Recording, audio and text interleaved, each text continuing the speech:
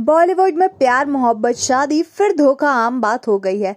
Hindi cinema में कई ऐसे कलाकार रहे जिनकी प्रेम कहानी अधूरी रही। बॉलीवुड अभिनेत्री शिल्पा शेट्टी प्यार में धोखा खा चुके हैं, इतना ही नहीं। एक इंटरव्यू में भी शिल्पा ने कहा था कि मेरा और रवीना टंडन का एक कॉमन मिस्टेक है। हालाँकि उन्होंने सीधा जवाब नहीं दिया। उनका इशारा खिलाड़ी यानी कि अक्षय कुमार पर था। रवीना टंडन के साथ जब अक्षय रिश्ते में थे, तब उनकी सगाई हो चुकी थी, लेकिन तब भी अक्षय ने रवीना को धोखा दिया था और वो शिल्पा शेट्टी पर फिदा हो गए थे।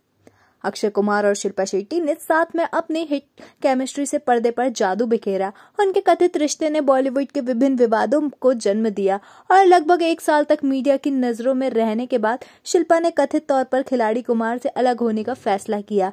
अक्षय कुमार ने शिल्पा के लिए ही रवीना टंडन से ब्रेकअप कर लिया था, लेकिन कुछ साल डेट करने के बाद शिल्पा शेट्टी को पता चला कि वो उन्हें धोखा दे रहे हैं। शिल्पा को डेट करने के साथ साथ वो उस वक्त ट्विंकल को चाहने लगे थे। वो एक बार फिर अक्षय अक्षय शिल्पा इश्क लड़ाते हुए ट्विंकल खन्ना पर फिदा हो गए थे। और जब ये बात शिल्पा शेट्टी को पता चली तो मीडिया में खूब हंगामा भी हुआ था। हालाँकि अक्षय को किसी बात की कोई भी परवाह न करते हुए ट्विंकल खन्ना के साथ शादी कर ली थी। तब से लेकर अब तक अक्षय और ट्विंकल की शादी को इक्कीस साल हो चुके हैं, लेकिन हर गुजरते दिन के साथ उनका प्यार दो गुना और तीगुना होता हुआ नज़र आता है।